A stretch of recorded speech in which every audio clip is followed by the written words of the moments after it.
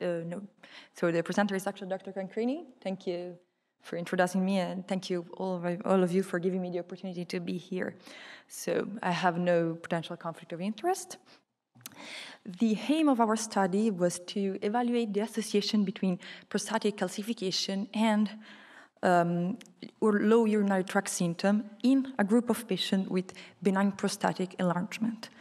We start collecting data and we reach the number of 201 patients in two different centers in Italy.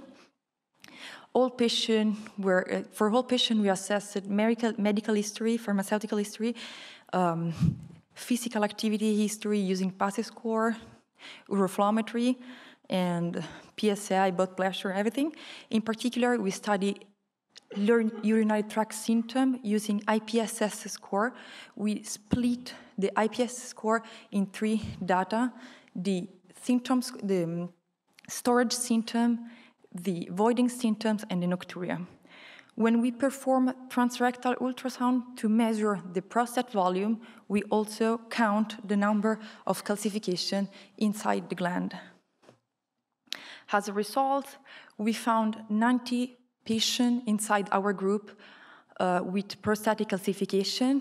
Out of them, 44 were considered with high number of calcification. We, uh, we we call this group significant uh, significant number of, of, calcification where when there were more than four calcification during the um, ultrasound 44 patients were involved were considering high, uh, high group high significant group of calcification and inside this group both nocturia and storage symptom evaluated by IPSS score were higher. So more episode of nocturia and higher IPS storage IPSS score. So moving to multivariate analysis, we confirm that both um, we confirm that calcification, more than four calcification are risk factor for storage symptom and for nocturia.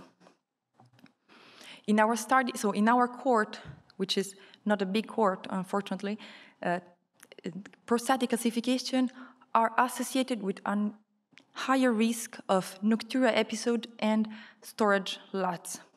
Of course, we do need a bigger study to confirm our data. And most of all, we need a bigger data to understand the pathophysiology behind those results. Thank you.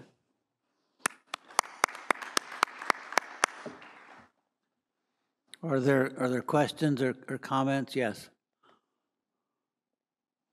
Yeah, Teacher Kort from the Netherlands. Hi. Was there an association between the prostate volume and the number of calcifications? We look for that, and unfortunately, there was no significant statistics association. I was intrigued to see that to recruit 201 patients in this study, your study period extended from 2009 yeah. for nearly a decade. Can you explain that? Yes, I can explain because this actually is a database that is part of bigger database. So we start the bigger database, the prospective database in 2009, and we add more and more factors to study year after year. So we decide to add prostatic calcification many years later. Uh, it was 2016 when we started that. So, but we still we did use the the, the original database. Thank you, Dr. Cancrini. The next question well, is. There are very perfectly good ways to evaluate LUTS and nocturia.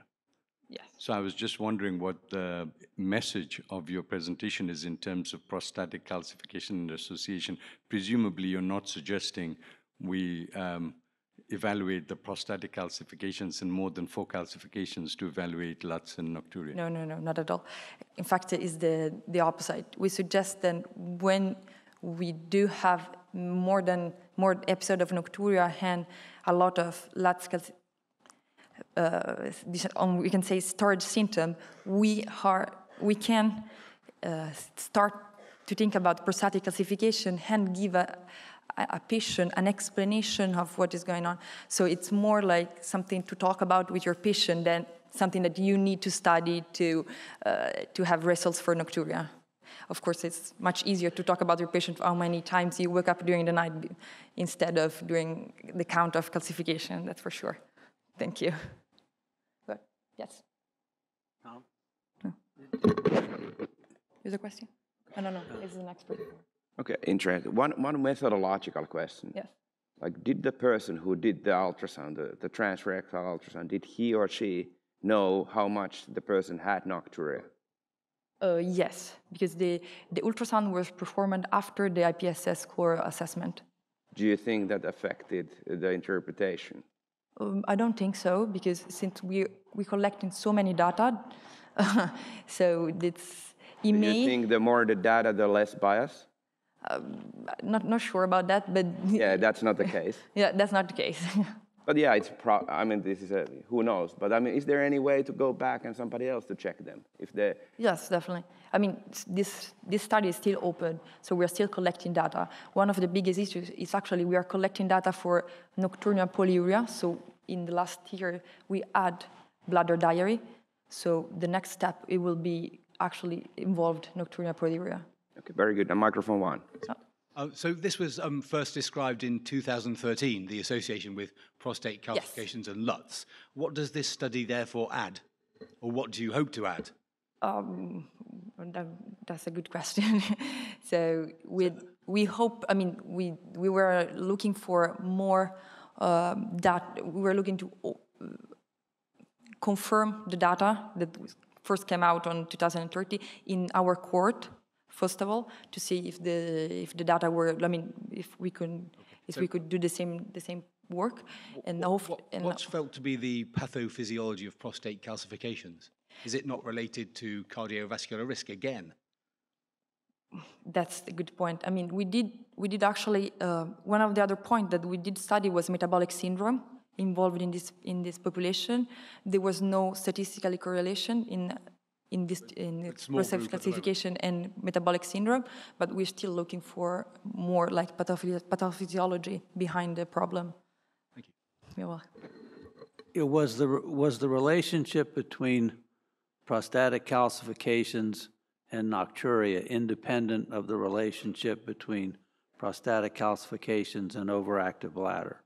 Yes, they oh, oh. were they were study independent. So the ones who didn't have overactive bladder and had just pure nocturia had an increased incidence of prostatic calcifications. So that's the point. We are uh, now studying this. So these data were before, I mean, did not involve the di- diary. So we, that's the, that will be the next step. So we, we, we are, I'm not presenting you the data with uh, overactive bladder and nocturne, uh, calcification and nocturnal polyuria because we are still working on that. Yeah, because that would be even harder to explain, I think. Thank you very much. Thank you.